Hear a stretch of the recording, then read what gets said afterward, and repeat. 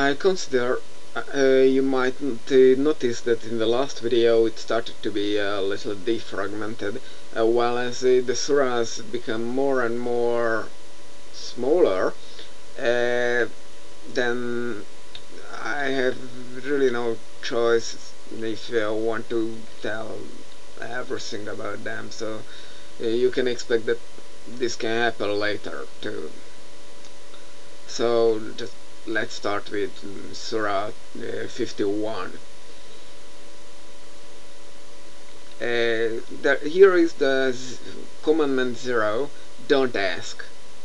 That's the basic of our religion I think.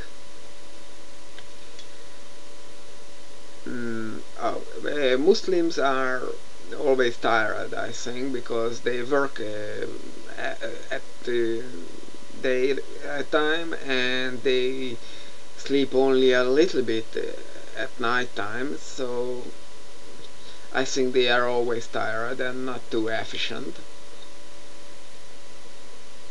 Mm, here is the story about the angels God going to Sodom and Gomorrah and visiting Abraham and Sarah.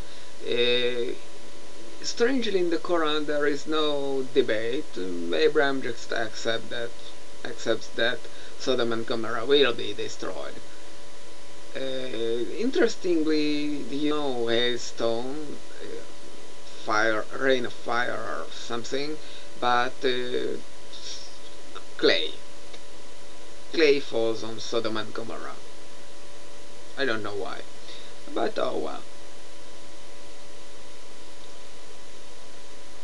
There are more stupid uh, demolition things made by Mr. A and uh, here is a claim that uh, Mr. A created everything in pairs but why?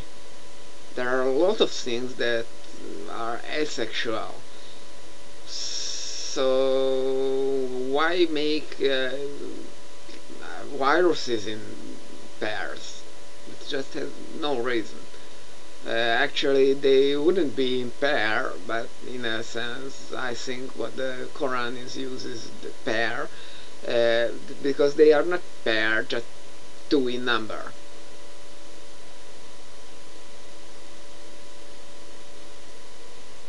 Mm, there's some things about why Mr. A created jinns and uh, humans to serve Mr. A. Uh, but uh, says he doesn't want to feed him or uh, take care of him, then, then what he expects? What is the servitude he expects? No one knows it seems. Uh, Surah 52 says a burning sea. Well, that would be interesting. Uh, something about doomsday that the sky will turn in waves. Who knows what this means? Well, we at least know that the Quranic doomsday uh, day comes with uh, flying monster. That would be much easy to recognize.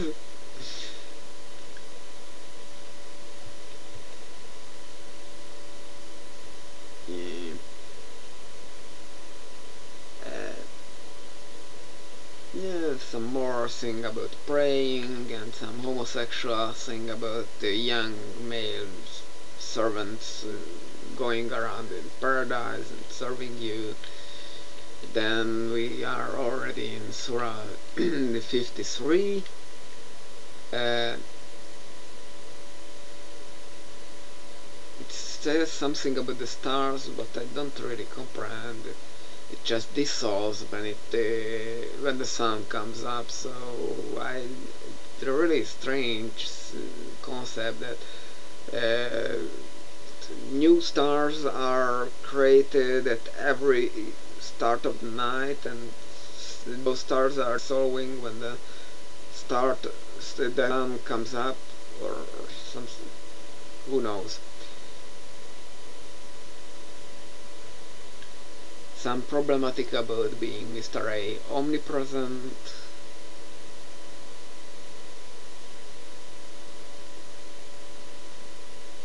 Uh, some question rhetorical question that uh, uh, how trust uh, you don't trust eyewitnesses? Well I don't. Well, actually no one trusts them fully because you know eyewitnesses can see what they want. Just think upon the World War II where everyone said oh, I saw them doing this and that in gas chambers and it happened that no one actually saw anything like the human soap or the electrocute termination and uh, more bizarre things. Uh, well, back to the Quran. Uh,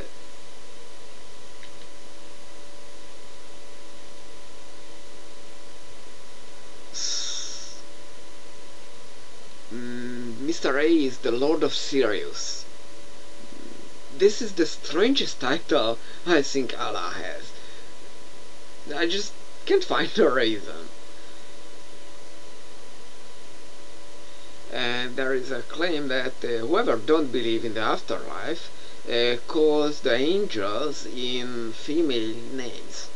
Uh, I don't see the connection between the two half of this statement, and I see the how false it is, but oh well, in the Quran.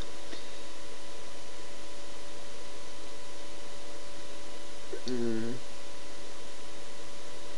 And um, for the end, it, it tells some things about how much good things Mr. A did, like uh, destroyed Ad's uh, tribe and uh, Thamud, and Noah's nation, and uh, other cities were buried in sand or something.